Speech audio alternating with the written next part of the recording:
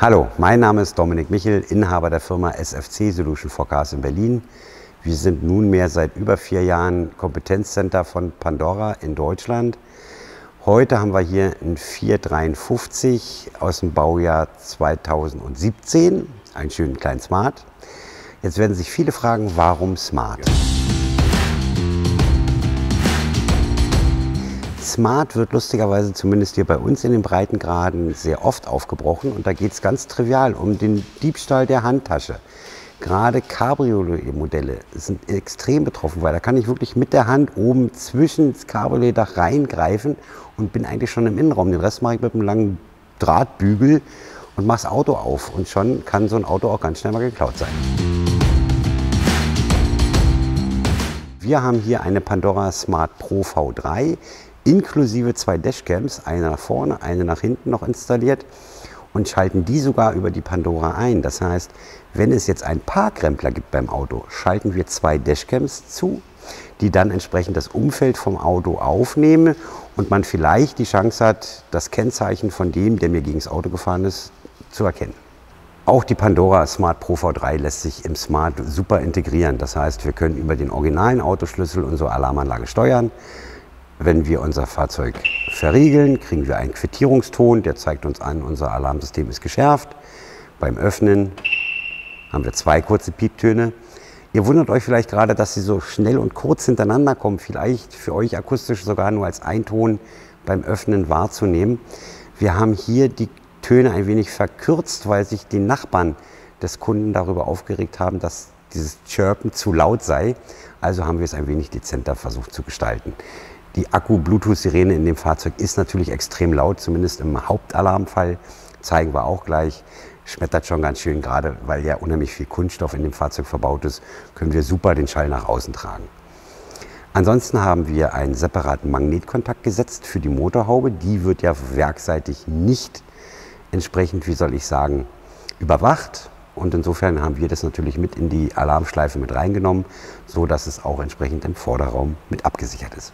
Wie ihr später noch in den Carporn-Bildern sehen werdet, hat der Smart 453 echt riesengroße Felgen, zumindest für dieses kleine Auto drauf. Und das war natürlich unserem Kunden auch sehr wichtig, dass wir die mit absichern. Dementsprechend bietet sich da natürlich die Smart Pro V3 an. Sie hat ja einen integrierten zweistufigen Schocksensor. Wir haben die Überwachung der Türen und Klappen. Wir haben einen Beschleunigungssensor, wenn da das Auto hochgehoben wird oder ein Neigungssensor. Und das ist ja gerade der typische Fall Felgendiebstahl, auch beim Smart. Und um euch das mal zu zeigen, schalten wir jetzt die Alarmanlage scharf. Die Alarmanlage schaut jetzt nochmal auf dem Datenbus, sind wirklich alle Türen geschlossen, ist irgendein Sensor, irgendeine Klappe noch getriggert. Wenn das alles entsprechend so ist, wie es sein soll, schaltet sie in die endgültige Überwachung. Und wenn wir jetzt anfangen, das Auto hoch zu pumpen, haut er uns gleich den Alarm raus. Ich drücke den mal weg. Wie ihr aber seht, hat der Reifen noch nicht mal den Boden verlassen. Das heißt, der Dieb kann ja, selbst wenn er jetzt schon im Vorfeld die Radbolzen gelöst hätte, gar nicht die Felge abbauen, weil dazu muss einfach mal wirklich die Felge bzw. der Reifen den Boden verlassen haben, um sie logischerweise auch von der Achse runternehmen zu können. Neben der genannten Absicherung installieren wir auch bei diesem Fahrzeug einen Glasbruchsensor, wenn wirklich mal die Scheibe eingeschlagen werden sollte. Das heißt also unterm Strich, wir haben eine Rundumabsicherung selbst bei solchen kleinen Fahrzeugen. Das Fahrzeug hier speziell hat ein sogenanntes Panoramadach aus Kunststoff. Auch das ist natürlich relativ leicht einzuschlagen. Insofern bietet sich hier natürlich der Glasbruchsensor an. Wenn wir mal ein bisschen detaillierter auf die App eingehen wollen.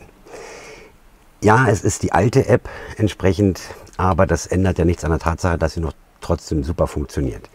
Wir können unser Tankvolumen auslesen. Wir sehen den Status vom Fahrzeug, ob das Fahrzeug geöffnet oder geschlossen ist. Auch das erfolgt relativ zeitnah. Ihr habt es im Hintergrund gehört, wann wir geschärft haben. Jetzt öffnen wir wieder. Und ihr seht, wie schnell diese Übertragung davon statten geht. Wohlgemerkt, alles über das LTE bzw. über das GSM-Netz. Wir sehen entsprechend die Batteriespannung am Auto. Wir sehen eine Innenraumtemperatur. Außentemperatur und Motorraumtemperatur wird uns nicht übertragen. Ich persönlich finde es eine sehr schöne Geschichte. Wir können das Fahrzeug über die App öffnen und schließen. Also spielt für die Alarmanlage keine Rolle, inwiefern wir hier unser Fahrzeug bedienen. Dann haben wir noch eine schöne GPS-Ortung. Auch hier greift er entsprechend wunderschön auf die Standortposition des Fahrzeugs zurück. Ihr seht, das Auto steht bei uns in der Halle. Also das ist trotz Stahlbetonbau, den wir über uns haben, echt eine verdammt gute Positionierung. Wir können hier an der Stelle mit dem GPS-System und GLONASS gleichermaßen zusammenarbeiten. GPS ist ja das amerikanische System, GLONASS das russisch aufgebaute. Aber es funktioniert beides super. Dementsprechend haben wir natürlich eine Vielzahl von Satelliten über uns, die wir entsprechend auswerten können. Der Anrufalarm auf drei verschiedene Telefonnummern ist standardmäßig. Ihr kennt es aus unseren anderen Videos. Das heißt, egal wie der Dieb sich dem Fahrzeug habhaft machen möchte, ich werde immer benachrichtigt, sei es als Push-Nachricht in der App, sei es der Anruf. Wenn ich möchte, auch gerne noch per SMS hinterher. Und das auf drei verschiedenen Telefonnummern ist schon eine tolle Sache. Zu guter Letzt haben wir natürlich auch eine Wegfahrsperre in diesem Fahrzeug installiert, damit das Auto auch bei uns bleibt. Wenn also die Alarmanlage scharf geschaltet ist, kann ich selbst mit meinem originalen Autoschlüssel das Fahrzeug nicht starten. Ist technisch nicht machbar, weil wir entsprechende Technik ins Auto einbringen. Seht es mir bitte nach, wenn wir nicht im Detail erklären, wie wir das machen. Oder auch unsere Handelspartner. Wir haben ja etlich viele Händlerkollegen, die auch sehr gewissenhaft Pandora einbauen können. Und insofern würde ich euch auch gerne den Andreas Ehrenhuber in München ans Herz legen von der Firma Semtex oder meinetwegen auch mal in Kai Stüven in Hamburg. Ja, kleines Auto, kurzes Video. Wir zeigen euch jetzt noch ein paar schöne Carporn-Bilder von dem Auto. Der ist ja nur wirklich komplett in schwarz gehalten. Genießt es. Ansonsten bleibt gesund. Euer Dominik. Bis bald. Tschüss. Miss the days I wasn't afraid. Now I always have my guard up Hands on my face, I learned to cope with the pain. I know that people think I'm trying to get attention But in reality, I'm trying to send a message. I know there's kids out there that are going through the same thing.